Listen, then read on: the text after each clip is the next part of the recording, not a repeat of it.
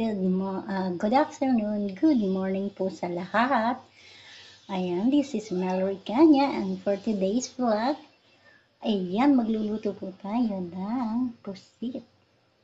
Adobo sa toyo na pusit. Ayan, guys. Ayan, samahan niyo sa pagluto ng adobong pusit. Ayan, guys. Kumakain ba kayo dyan guys ng pusit? Adobo lang sa tuyo yan. Pwede rin ginataan pero adobo sa tuyo para madali lang. Okay? Samahan niyo ako sa pagluluto ng adobong pusit. Ayan guys. Ayan guys, samahan niyo ako. Magluto tayo ng adobong pusit. Sa tuyo, ayan, adobo sa tuyo. Ayan, magsasabi na. Hugasan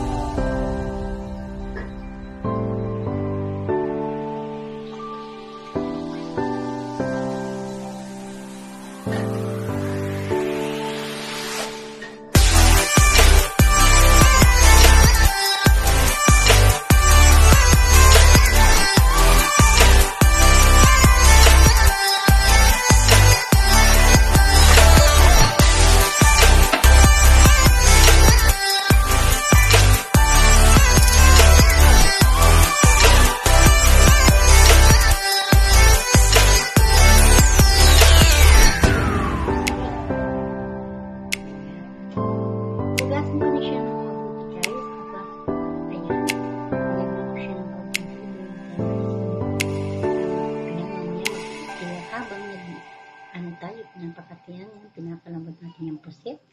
Ating tatakipan at mag, ano tayo ng sibuyas, bawang, laurel, paminta. Preparation. Okay.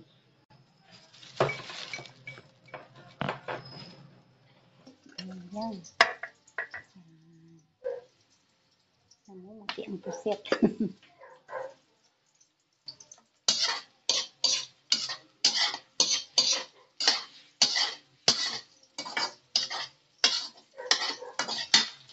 ating isasama sa pusit. Ayan, malalaki at ang gayat ko. Okay lang ba yan?